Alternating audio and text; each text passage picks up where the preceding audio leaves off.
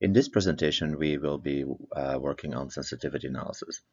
Sensitivity analysis is probably the most important thing we will be doing in uncertainty quantification. It is a really important learning exercise where we can learn what parameters are affecting uh, our predictions, what model parameters are sensitive to certain data responses such that they can be uh, informed by such data. There are basically two types of sensitivity analysis. The first one we call local sensitivity analysis and the second one global sensitivity analysis. In local sensitivity analysis, we typically start from some base model, make perturbation, and uh, the global sensitivity analysis, we actually do uh, Monte Carlo. And that will be probably the most preferred sensitivity analysis when uh, dealing with complex systems and uncertainty quantification. Again, um, the book contains a chapter um, that talks just about sensitivity analysis. It's basically another data scientific methods, but we decided to, because of its importance in uncertainty quantification, we decided to uh, to make it a separate chapter. So what can sensitivity analysis do for you? Uh, basically, its definition is that we study variation on input parameters, how they impact variation on responses of interest. So basically, we have three things here. We have some um, parameters on the input who that are uncertain. We have some box in the middle, um, and out of that box comes a certain response given input parameters. So we'd like to understand um, how that output relates to that input. Because we're dealing with um, a complex system, many parameters, complicated responses, there's really no unique way to define sensitivity analysis. And so we'll have to look at several ways of to defining them and um, then figuring out what for what particular application would be the best. So what is the goal of sensitivity analysis?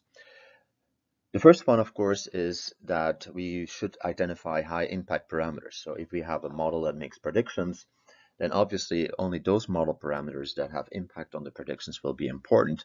And therefore, we can also reduce uncertainty on those parameters that are not important and simply by either fixing them to a certain value or reducing their ranges.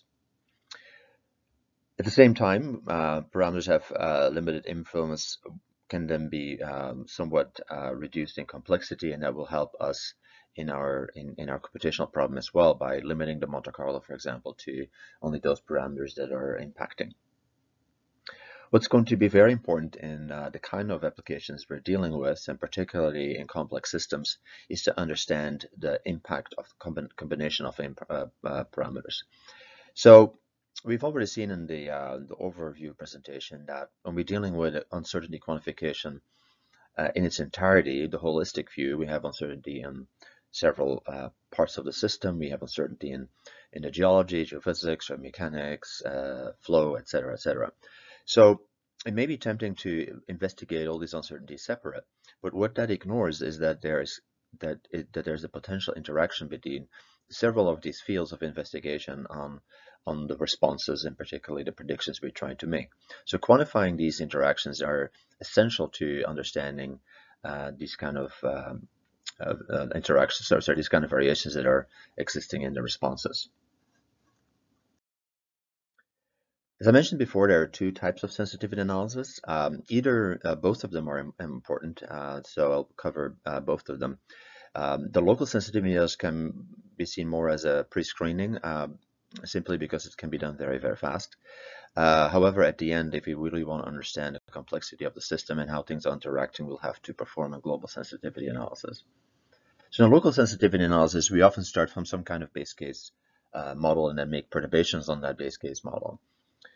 The problem, of course, with that, uh, as we'll see, is, is that this, uh, this is the definition of the base case model, of course, is somewhat subjective. So it often relies on uh, partial derivatives of responses because we're making perturbation from a base case. So that means we get some local gradient that can be uh, calculated. In global sensitivity analysis, we're going to uh, jointly vary all the parameters uh, in a Monte Carlo study. Uh, but that then will require, of course, many more evaluations in order to understand all the various interacting effects. Sensitivity analysis is used in many fields uh, in science and engineering. And so it uh, behooves us to, to talk a little bit about um, what are the typical problems that we are dealing with. The first of all, of course, is that we are dealing with the so-called high-dimensional problem. Is the problem that I discussed uh, in in the uh, the data science uh, for UQ presentation. The many uncertain input parameters um, themselves could be functions or maps. The responses themselves could be high dimensional, such as scalars, functions, or maps. Typically, when we're dealing with these black boxes, these are typically solving PDEs in numerical forms, uh, so we have to deal with large computation time.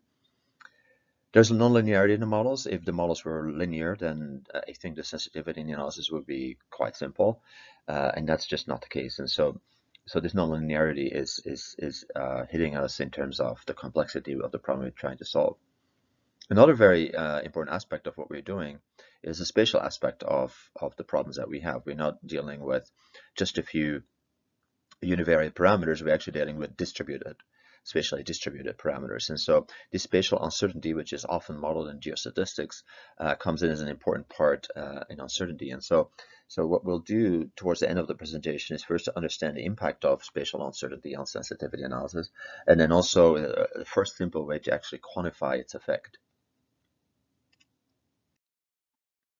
Again, to illustrate some of the context, I will use a very simplified version. Uh, I will use the, the DNAPL version and even a simplified version of this.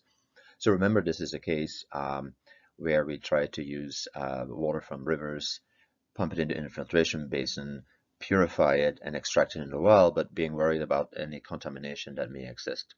So the responses could then be what would be the breakthrough time of a contaminant that would be a single response, or what would be the concentration over time, which would be in a function. So in this case, um, we'll look at a number of, and I'm going to put my pointer on again, um, a number of uncertainties. Remember, the, well, this table is comes from the, the, the data science for uncertainty quantification, uh, so I refer to, to, that presentation. But basically, if, if you have not even listened to that presentation, you can understand that there are num a number of uncertain parameters. In this case, we'll just start very simple and only look at univariate parameters such as mean, hydraulic conductivity, variance, the, uh, the type of covariance, actually this would be a discrete parameter, so let's put that in the system, uh, range, etc. So what we'd like to understand is when we vary these parameters according to some prior distributions, what effect does that have on the arrival time of the contaminants? Or if we deal with a function, what is the effect on, on, the, on that concentration function over time? So let's uh, first look at the local sensitivity analysis and, and the screening techniques, which are really uh, simple, simple approaches, very easy to understand, require a very few model evaluations, but we have to also discuss a little bit uh, the limitations of, of these methods. So there are two methods, there are many methods. I will only focus on uh, basically two methods, which is the one-at-a-time analysis, OAT, or uh, the Morris method.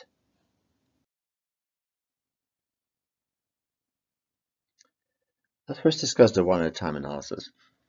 It's a very uh, simple method, and I think many of you have sort of worked with this idea, whether implicitly or explicitly. Basically, we start out build, building a base case model, and I would often resort to taking averages or the, the median of these various parameters. Once we have the median, we evaluate a response. We get a certain response, which in this case is, say, an arrival time around 24 four days. Then what we simply do is we change parameters um, typically a certain fixed percentage of the parameter by uh, taking a parameter, changing the parameter on the negative side and changing the parameter on the positive side, which then leads by fixing all the other parameters. For example, I can change the k-mean. Uh, when I increase the k-mean, obviously I will increase uh, the arrival time. At the same time, I fix the other parameters. And I can do that for all these parameters and create a nice uh, Pareto chart. So the number of simulations are, are very limited, uh, but also the, in the, um, the interpretation and the ability of this method is quite limited. Uh, first of all, it of course starts from assuming the, the base case, which is the mean of the parameters, gives somehow the mean of the response, which is just not true in, in nonlinear systems, or not necessarily true. And secondly, we can deal with discrete parameters because we can't, uh, if you have a choice between A and B, there's no way of, of, of changing a percentage of that. And of course, the interactions cannot be uh, dealt with. So an extension of that uh, to get rid of the, at least to get rid of the base case uh, issue is to start um, making evaluations at many base cases, let's say. So the Morris method is a method that extends on the OAT design by evaluating what are called elementary effects. So, so elementary effect is basically perturbing a parameter, keeping the other parameters fixed, and calculating a sort of derivative. And then redoing this uh, to avoid that dependency, redoing that for a number of these initial points. So essentially, I start initial point, make a perturbation, start initial point, make it a perturbation, etc., and thereby calculating many of these elementary effects. These elementary effects, I can then calculate the mean elementary effect, and I can calculate a variance of the elementary effect, and that would be these two equations here. So then I can rank uh, the mean uh, versus that variance, and then typically um, we cut up this region into, of course, low mean means negligible, and uh, low or high variance means that if there's a high variance, that that possibly uh, there also uh, it's a nonlinear effect, or there are interactions, although I can't really distinguish that. So what we see in this particular case is that just like before, in our previous analysis with OAT, indeed, we see that we have a number of parameters uh, that are um, that have are negligible, but then I have a parameter here k-mean, which is important, uh, and also it seems to have either an interaction or some nonlinear effect uh, to the problem, and also uh, the the gradient uh, in the system. This is a ground groundwater system, so the gradient is also an important parameter. So in summary, these screening te uh, uh, techniques are, are quite useful, particularly the Morris method, uh, because it, it has a, somewhat an independence of the base case and can give rapidly some insight in what's really happening broadly in the system. Um, and possibly it, it's um, best used to identify parameters that pro uh, probably can be removed from the study. If indeed um, we have parameters that have that very low mean and very low variance, there's a lot, probably a little chance that even in a global sensitivity analysis, uh, they will have any effect, although we have to at least uh, keep our eye, uh, eye, out on that. Um, there are a number of um, disadvantages. Um, so we really can't quantify here interactions, uh, but we don't really know whether that high mean and high variance is either a nonlinear factor or an interaction. We're limited to single responses we have to only deal with univariate input variables and uh, we can't really deal with spatial uncertainty. so later in the presentation, I will talk actually about the effect that spatial uncertainty has on the, the heterogeneity charts uh, that are being presented by these methods. So that comes to the second part of this uh, presentation, which is global sensitivity analysis, is also where I spend uh, most of the time on. Um, again, global sensitivity is really closely linked with uncertainty quantification simply because we'll be doing Monte Carlo on some prior distribution. So this Monte Carlo will be used for calculating sensitivity, but can later also be used for uh, doing Bayesian analysis and updating parameters. So you, you, you can do with that simple single Monte Carlo, a few Monte Carlo runs, you can already start doing a lot of things, not just uncertainty quantification, and it's not search sensitivity analysis. And so there are a number of uh, methods uh, that we'll talk about. First are the linear methods, uh, which are limited. The variance-based method is also called Sobol. Uh, the regionalized sensitivity analysis methods and its extension to distance-based generalized sensitivity and the tree-based sensitivity analysis. So the simplest way, of course, is to look at, at do Monte Carlo and then look at scatter plots between input parameters, which are shown here, and, and output responses arrival time, and then simply look at the correlation coefficient. And so we notice here again that k-mean, the mean uh, hydraulic connectivity, is an important parameter, uh, and some of the parameters have almost no uh, effect. Here now we are actually also uh, studying uh, a little bit, start to study a little bit a discrete parameter. So we have basically a choice between a Gaussian variogram and a spherical variogram for the hydraulic conductivity. But of course, you see again, the problem is that um, it's difficult to look at these scatter plots and say whether or not there's a, there seems to be somewhat of a sensitivity, but it's hard to determine that with a correlation coefficient. Additionally, of course, uh, we're not looking at uh, combined effects, um, although you could say making products will, will tell us something about that correlation coefficient, but that's something that we'll then uh, study more carefully when we're dealing with uh, regression.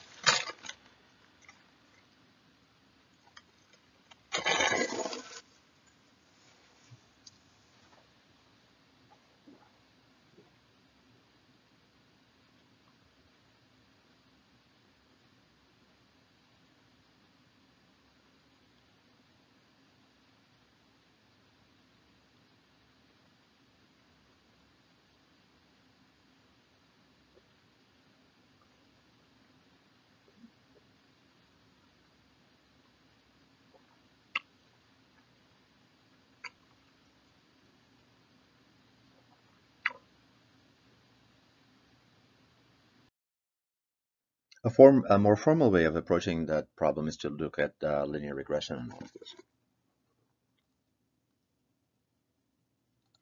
So here we see a typical linear regression with um, um, a linear part and an, and an, interacting part. So the first thing we would do is, as, as say, fit uh, the various um, beta coefficients. Let's focus first uh, only on the first part and not look at the interactions. So after fitting, what we typically calculate are the standard uh, regression coefficients. So these coefficient SRC are equivalent to performing uh, the regression analysis when uh, with the input and output variables normalized to mean of zero and variance of one. So a large uh, SRD, which uh, SRC, uh, which you then see in this table here, would indicate a large change in the um, response of a unit change of the input parameters. So large SRC, the larger the SRC, the more important an input parameter is. However, if these input parameters are, are, start to be dependent, and that's often the case in the kind of problems we're dealing with, then the SRC are not suitable for measuring importance. So the other thing that's important here in the linear regression is to, is to, to assess whether we, the, the model fits uh, well or not, because these SRC coefficients are basically calculated from uh, the model fit, they're not calculated from the data. To make that more formal, uh, because we're dealing with limited amount of, of information, we can do a formal uh, student t-test uh, to test whether this, um, by, by hypothesis test basically, whether the beta is there or not, uh, test whether there are inflammations or not, these parameters. Again, can deal with uh, discrete parameters and a spatial uncertainty. So here are some uh, results. Some Pareto plots that show the results of the student t-test.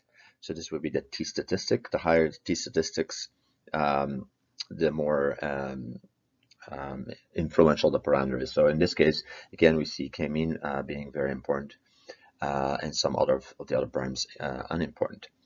This is, however, without studying interaction. When we study interactions, then of course the whole story changes because we fit a different function, uh, the different regression model. And so when we look at interaction, we can plot both the interaction of k-mean and k-range. What that basically means is that it's the combination of um, a, change in the mean and, uh, and the variogram range that has the highest effect and not necessarily a change just in the k-mean or in the variogram range, which is over here. So the nice thing about this is now that we can start ranking both interactions, combined effects, uh, with main effects or single effects. And again, we can calculate a, a line of significance based on this hypothesis uh, testing.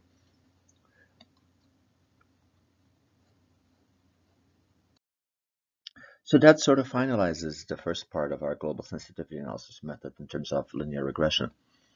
So it does offer a lot of um, advantages. It's really simple to implement. People understand it. It's very easy, reasonably computational uh, demand. You can also use it with experimental design. And of course, we are um, dealing with these linear responses. Um, and um, the, the responses have to be somewhat simple, meaning univariate.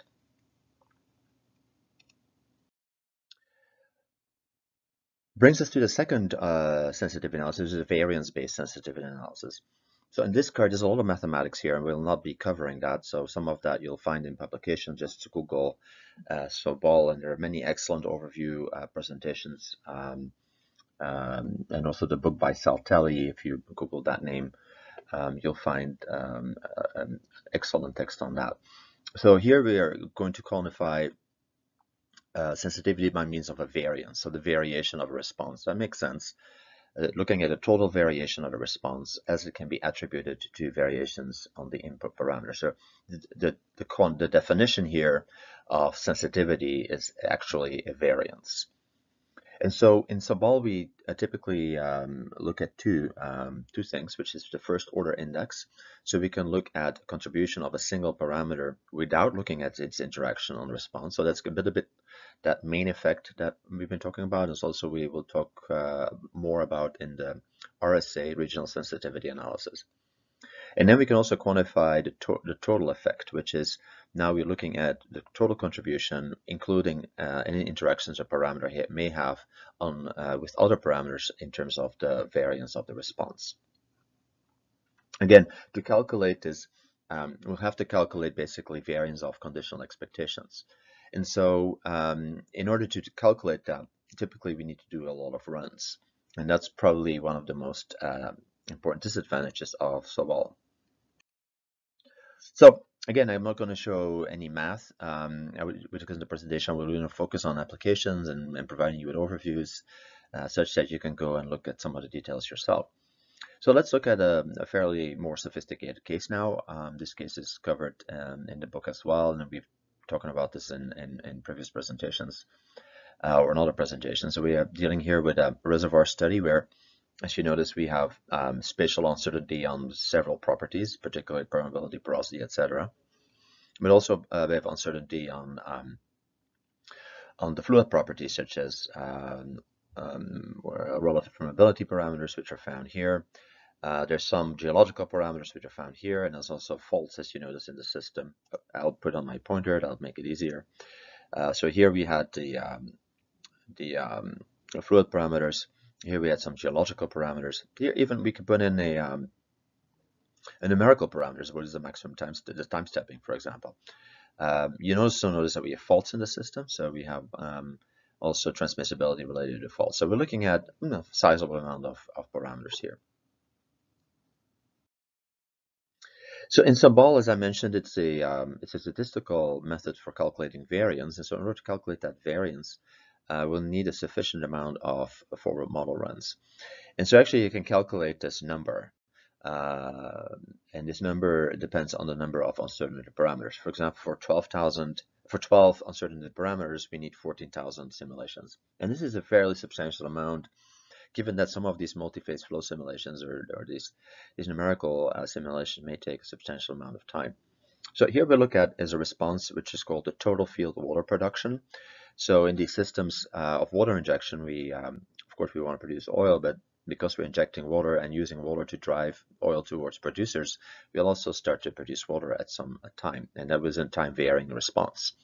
So a time varying response is that this, this response, the total water field production, varies from zero to uh, to 7,000 uh, days. So here we see the Sobol sensitivity. So remember, this is the first order effect, and this is the total effect.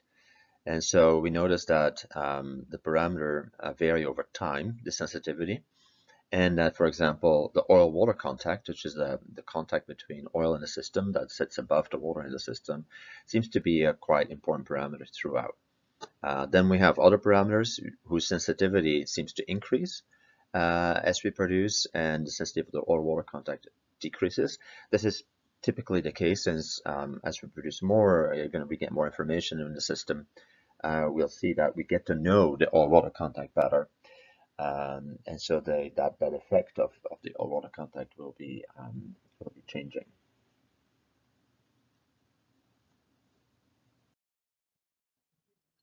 So I think the variance-based methods or the Sobol methods um, are quite an um, have quite a, a, lot of advantage or make a lot of progress on the linear uh, regression based in the sense that they can be defined for any type of response. So it doesn't have to be linear or monotonic.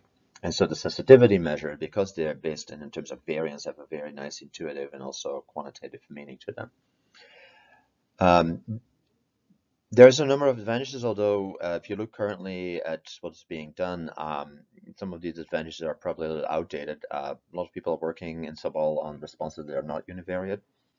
Um, computational demanding is an issue. Remember, I, I mentioned that number of simulations uh, that need to be done uh, does have a, a significant size uh, to them, and so that's an issue. Uh, so a lot of people work on that issue as well by, for example, um, using surrogate models or typically, for example, Gaussian process regression or kriging is used as a surrogate model. Since we're getting a lot of model evaluations, we can start building up a statistical uh, proxy that then can be used and, and reduces typically um, the number of uh, model ev evaluation by an order of magnitude. Okay, so now we come to the regionalized sensitivity analysis, and, and I'm only going to talk about um, the distance-based sensitivity analysis there because it's basically based on the regionalized sensitivity analysis. So recall our basic problem is that we have a number of input parameters, um, could be large, could be spatial. Uh, we build models, so it could be groundwater models, um, could be reservoir models, uh, geothermal systems, minerals, whatever, you're building models and on those models, you will be evaluating a response.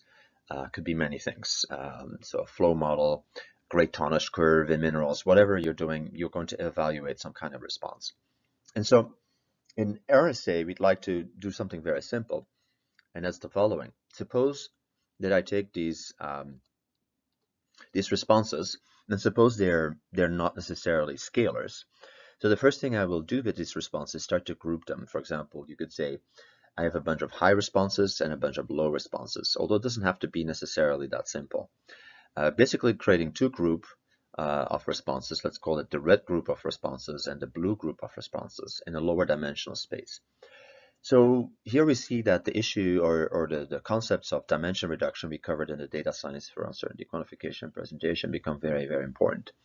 Uh, so we take these uh, complex responses, we reduce their dimension, allows us to do some kind of grouping so recall that each dot is a response. Each response corresponds to a model, which corresponds to some set of parameters by which the model is generated. And so um, once we have done that, we can start, start evaluating the histogram of a particular parameter in this group and the histogram of the parameter in this group. And so it's logical to say that if we find that the histogram of this parameter in, in, in, the red group is very different from the histogram of a parameter in the blue group, that that parameter has impact on the response. It, it separates the response into classes. So to visualize that, we can calculate for that parameter a CDF and here we see the CDF of a parameter. For example, could be, I don't know what this is, uh, the, the uh, axis, it could be a log permeability. Um, and we notice that the log permeability in the red group is much higher than the log permeability in the blue group, which could be related to the high and low response that we see in this particular uh, case. So we call um, this now um, an influential parameter. So a measure of sensitivity would simply be by calculating the difference in response between a difference in the CDF uh, between what we call the CDF of the blue group. The black here is the total uh, histogram of that parameter and the red group. So basically the area between these curves is a measure of sensitivity because it also makes sense then if there is an area between those curves that's very small then it's very likely that parameter has no impact. So you could say, yeah, that's nice, but I think in order to calculate that um, that area in a meaningful statistical way, I need a sufficient amount of samples, and that's true. So in the method, which we're not going to go again in the math and the details, is we're using uh, a bootstrap method to figure out whether or not that that area here is significantly different from zero. And so that, again, that significance, uh, the more significant that is, the more influential a parameter uh, becomes. So if we if we apply that to the DNAPL case, um, we now get um, a plot that plots that significance, basically indication of that area, uh, versus the parameter. So we notice uh, here in this particular case, remember now we put in the covariance of the model as a uh, as uh, the model sorry the type of covariance as an uncertain parameter, uh, and we calculate um, the uh, sensitivity.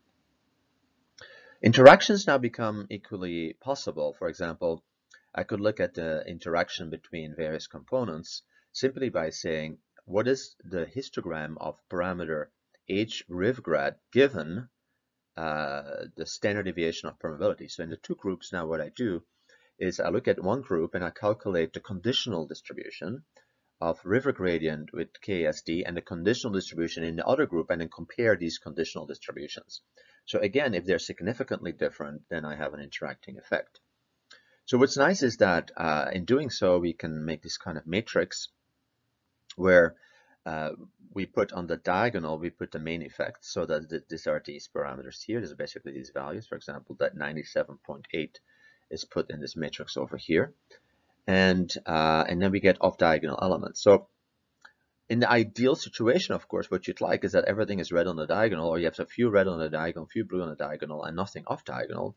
But as we notice is that we get a significant amount of off diagonal uh, sensitivities. For example, we notice that K range is not sensitive, but it has somewhat interaction with, uh, with the river gradient, a very sensitive parameter.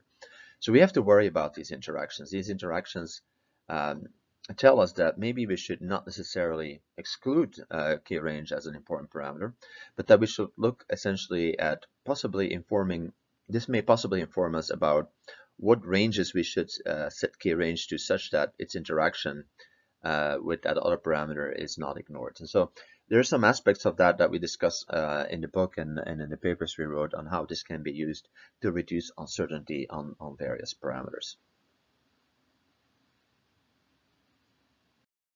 Possibly we're a little biased uh, because we developed this method, but uh, there, I think there's a lot of uh, things to say about uh, DGSA, and and I, I, think one of the things it's very uh, it's very intuitive. Um, it makes a lot of sense to take responses, divide them into groups, and figure out what the difference in the histogram of parameters are within those groups. And also, uh, this, this division issue leads us to doing that for any type of response because we can also we can always classify responses into into groups. Uh, we also have to use two groups. You can use many groups depending on what kind of responses that we have. Uh, another great advantage we will show um, in a bit is this issue of spatial uncertainty and how that can be addressed within that uh, within that uh, framework. So the measure of sensitivity is now no longer a variance, which which was the case for Sobol, but is a um, it's a um, uh, a um, sorry, it's, it's a measure of significance, and so that for for some people that's uh, that's uh, very difficult to to interpret. Okay, brings us to uh, yet another method, um, which is um, getting quite popular. These are the classification and regression trees, uh, also called CART or CART uh, for short. So classification and regression trees um, are very simple non-parametric ways of, of fitting models to data. Um, one of the really uh, simple ideas of regression trees is that instead of trying to come up with a function, such as a linear function or another function that fits the data, is that we'll use piecewise, uh, piecewise uh, functions, so step functions. We try to essentially, uh, let me put up my pointer, instead um, of coming up with a function uh, form, a functional form, we'll try to take uh, the region of variation. For example, if I have two parameters, input parameters x1 and x2, we try to cut up that region into various zones. And in each zone, uh, we simply estimate the function by taking the average of the responses that we have calculated. That's the y values. We calculate the average of the y values in each region, and then what we have is a function that approximates uh, our complex variation. That function is clearly not linear. So the question then is, of course, is that how do you cut up that region? And here it comes sort of the contribution uh, of, of So imagine uh, that we start out with, with no cutting up. So the first question we have to ask is, on which parameter do we make the, the cut and where do we make that cut? So that depends on a definition of how much a, a variable reduces uh, the reduction in overall fit. So for example, if I would take on the first variable a cut at T1 and I calculate the, the reduction in fit uh, because initially I have a fit that's constant. It's, it's, basically the average of the of all the observations in this plane. Now I basically I get I get two regions, I get two averages. So how much does that these two averages, when using those two averages, do I improve the fit to the data? And so we'll take the variable that has the highest um, that has the highest uh, degree decrease, and we take the threshold with the highest decrease. So that seems to be a little bit of an optimization problem. It's a combinatorial problem also because we can have many combinations. And so uh, we don't solve typically that full combinatorial problem. We have a couple of greedy algorithms that, that allow us to do that relatively fast. So to keep then track of all this cutting up into region, um, we make this tree. So the first uh, branch of the tree looks at cutting up indeed on variable x1, and we take a cut in two regions, which is this region here, consisting of R1 and R2, and the other region uh, consisting of R3, 4, and 5, and we go in this branch. And we do this, keep on doing this. So we're creating these various regions in this tree. So once we have a fit of the model, we also can calculate a measure of uh, what is called variable importance.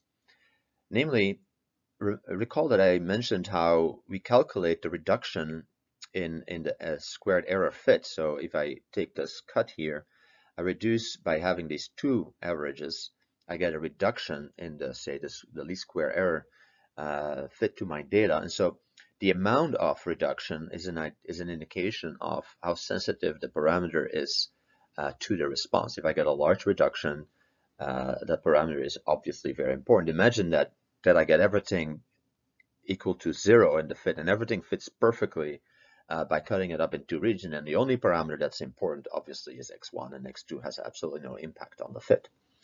So I can keep track of all these um, contribution to reduction and cost functions. So you get a summing over that as you go down the tree. And from that, I calculate a variable importance. And that is shown over here. Uh, so this is the variable importance, and the variable importance now is no longer, this is not a main effect. This is the, uh, that's a, a, bit like in Sobol, we're looking at the main effect and, and also the contributions in terms of all its interactions. Because obviously in a tree, I can look at all of the complicated interactions that are existing by looking, going up in the tree and looking at, I start with region four and so on and, and make my way upwards. So that, that um, accounts for all the various interactions that I have between the various variables.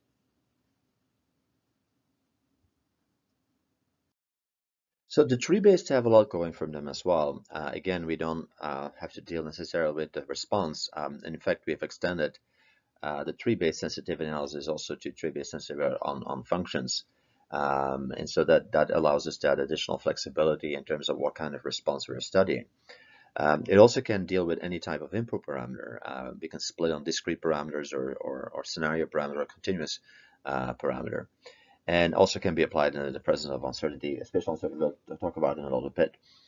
The only issue with the trees is that uh, you can't have too many of these discrete parameters. Say, for example, if you generate, um, if you have a parameter that can have 20 or 30 classes, then we'll have to create dummy variables or indicator variables for each of those classes, and then we'll split basically on those indicator, those binary indicator variables. And that for large amounts of classes, this leads to a large amount of parameters that are being added to the system. And so that is uh, that um, makes it difficult for trees to work. Okay, one thing I didn't, uh, or I mentioned a few times I didn't really study is what's the impact of the spatial uncertainty in the model. So for now, the spatial uncertainty has basically been a nuisance parameter or a, uh, a noise parameter, right? I I said, let's generate a number of input uh, parameters. These are typically the global parameters of the system. Let's gen then generate spatial models for example, I pick one random seed, generate one spatial realization, and then I evaluate the response. So we never really quantified this impact of this random seed. So one thing we should never do, uh, and unfortunately I've seen many times, is put the seed in as a in, as a sensitive parameter. The seed is basically a, a categorical parameter, so it, its its actual value has has no no absolutely no information. So please do not calculate sensitivity based on random seeds. What we first look at here is to study the effect of spatial uncertainty uh, on on the sensitivities. For example, remember in the one uh, the time analysis, we need to create a base case. So imagine that now when I have spatial uncertainty, I specify my histogram of um, hydraulic conductivity, my variogram of hydraulic conductivity, the boundary conditions, and I generate with one random seed, generate one realization, and I can calculate the sensitivities, which are these sensitivities. If I now take another spatial uh, realization, then um, I, create, I can again create uh, a calculate on sensitivities. And what we notice is that the sensitivities are very different. Uh, for example, we notice that river gradient becomes important, while here it's less important. So the order uh, of these parameters is starting to change. And that's, of course, makes it very confusing as which is now the right one. Uh, and how to aggregate all, if I do that many, many times, then I have question of aggregation over all these sensitivities. So that again shows um, that we can have violently different uh, results in these sensitivities depending on what spatial model realization I select. The same for the linear model. So um, I can have a really accurate um, prediction of arrival time when I have um, no spatial uncertainty. But when I have a spatial uncertainty, uh, then my linear model is uh, the prediction right by the linear model is much less accurate and so this may give me a false sense of, of confidence while in reality if we count for spatial uncertainty uh, we get this uh, decrease in these um, sensitivities.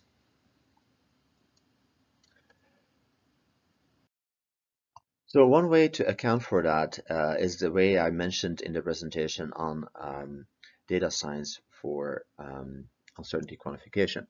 And so um, I refer to that presentation um, and this slide is, is, is, there. So one way uh, to account for spatial uncertainty, um, and it's just a very simple way, so uh, it, it's not really giving us a complete picture, is to account for it by ranking realization. So the, the, the, strategy is that by ranking realization, I turn realizations uh, essentially into uh, an integer value. It goes from 1 to, say, 500.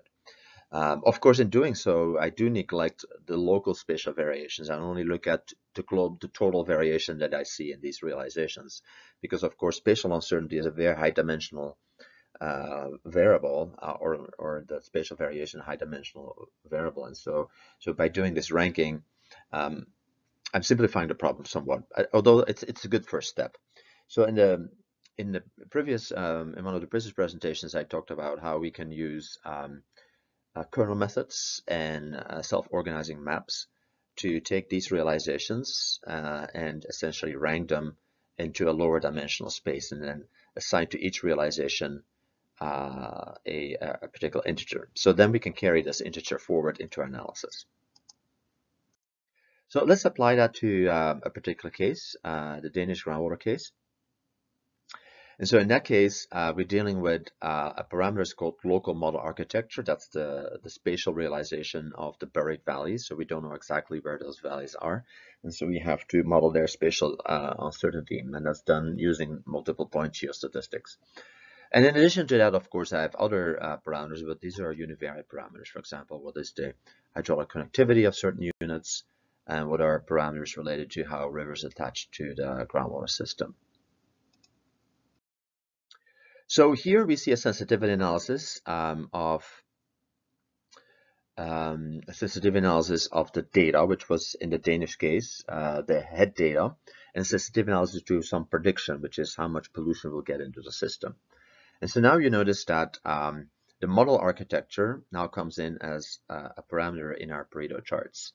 Uh, one thing we notice in this particular case, for example, which is interesting, is that the model architecture is not sensitive to the head data, but it is sensitive uh, to the industrial, or the industrial pollution is sensitive to the model architecture.